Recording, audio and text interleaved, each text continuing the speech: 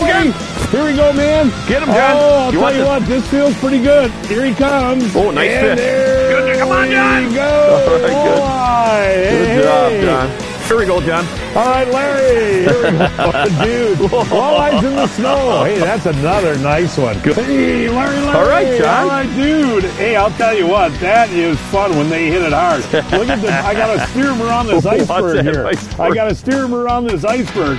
Need- need help? Oh, no, here he comes. Look at that. Ooh, you barely got yeah. him. I Get can him in. actually put him right on the ice there. Look at that. that That's another, nice. look at that walleye, folks. Is that gorgeous?